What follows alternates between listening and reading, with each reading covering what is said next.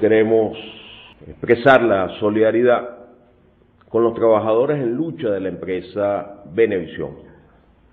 Se trata de un grupo de trabajadores que viene siendo perseguido a lo interno de la empresa Benevisión, al que se le vienen desconociendo sus derechos laborales y sus derechos a la organización sindical.